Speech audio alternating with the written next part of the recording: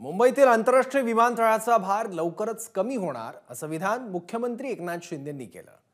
खरं तर नवी मुंबईतील आंतरराष्ट्रीय विमानतळाची प्रतीक्षा सर्वांनाच लागली आणि ती प्रतीक्षा पुढच्या वर्षी संपेल अशी घोषणा मुख्यमंत्री एकनाथ शिंदेंनी केली आहे. पाहूयात.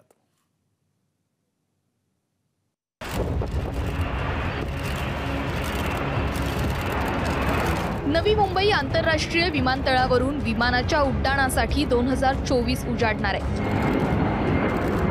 मार्च एप्रिलपर्यंत मेपर्यंत तरी उड्डाण झालं पाहिजे चोवीस. आणि अपेक्षित आहे त्यासाठी पूर्ण सहकार्य राज्य सरकार त्यांना देईल. याच विमानतळाचं काम सध्या सुरू आहे.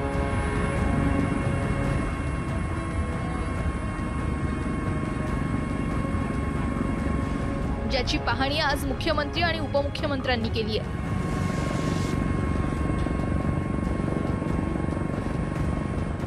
एक अतिशय मल्टी मॉडेल अशा प्रकारचा एअरपोर्ट आहे. आणि नऊ कोटी पॅसेंजरला या ठिकाणी सर्व करू शकेल अशा प्रकारचा हा एअरपोर्ट आहे.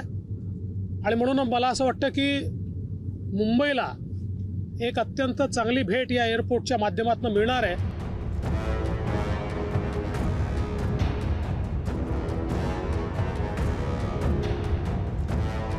दोन हजार आठमध्ये विमानतळाला केंद्राने परवानगी दिली. पनवेलजवळ एक हजार एकशे साठ हेक्टर जागेवर उभारण्यात येणाऱ्या या विमानतळाचं काम सुरुवातीला जीव्हीके या कंपनीला देण्यात आलं. या कंपनीने कामही सुरू केलं. मात्र काम अंतिम टप्प्यात असताना कंपनी आर्थिक संकटात अडकली. त्यामुळे ह्या कंपनीने माघार घेतली. पुढे हे काम अदानी समूहाच्या ताब्यात देण्यात आलं. विमानाचं टेक ऑफ रखडण्याची कारणं काय आहेत तर ती सुद्धा पहा. दोन हजार आठमध्ये केंद्र सरकारकडून विमानतळाला परवानगी मिळाली. दोन हजार बारा पर्यंत पहिला टप्पा पूर्ण होणं अपेक्षित होतं. प्रकल्पग्रस्तांचं पुनर्वसन आणि भूसंपादनामुळे प्रकल्पाला विलंब झाला. दोन हजार सोळा मध्ये प्रत्यक्ष विमानतळाच्या कामाला सुरुवात झाली. अठरा फेब्रुवारी दोन हजार अठरा मध्ये मोदींच्या हस्ते विमानतळाचं भूमिपूजन पार पडलं. दोन हजार एकोणीसमध्ये विमानतळावरून विमानाचं टेक ऑफ होईल असं सांगण्यात आलं पण अपूर्ण कामामुळे हा मुहूर्त टळला. दोन हजार वीसमध्ये कोविडमुळे विमानाच्या उड्डाणाला पुन्हा ब्रेक लागला. स्थलांतराला ग्रामस्थांचा विरोध आणि ठेकेदारांची माघार यामुळे विमानतळाच्या कामाला ब्रेक लागला. त्यामुळे दोन हजार बावीस मध्येही नवी मुंबई विमानतळावरून विमानाचं टेक ऑफ रखडलं.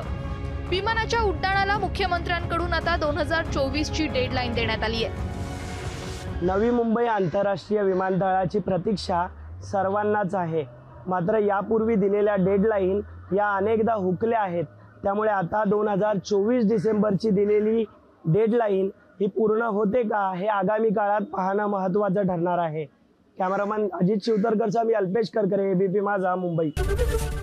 एबीपी माझा. उघडा डोळे बघा नीट.